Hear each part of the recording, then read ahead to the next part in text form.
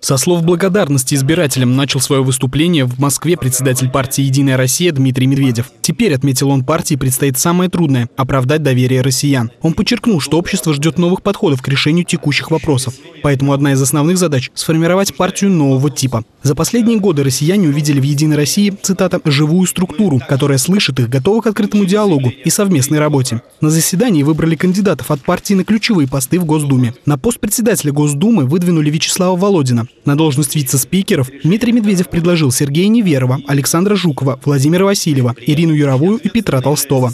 После заседания своим впечатлением об итогах выборной кампании и надеждами на то, как проявят себя депутаты Госдумы от Самарской области в ближайшие пять лет, поделился губернатор Николай Меркушкин. Понятно, что в этой непростой обстановке предстоит очень-очень много сделать.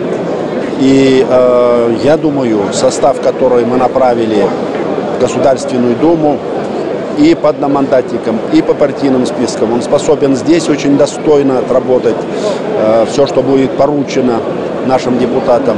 Ну и у нас, у себя, местная губернская дума, э, мы совместно с правительством сделаем все, чтобы те наказы людей, просьбы людей, чаяния людей были максимально реализованы.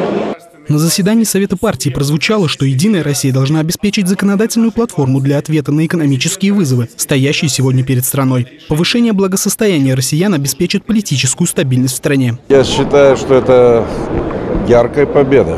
Почему? Потому что жить-то стало нам сложнее, а в этот период, когда у людей, у многих и сокращение рабочих мест, и проблемы с зарплатами и многие другие социальные вопросы появились, мы набрали очень много голосов. В том числе победили все наши мандатники в нашей области. И здесь, понимаете, 343 делегата Единой России. Такого не было никогда.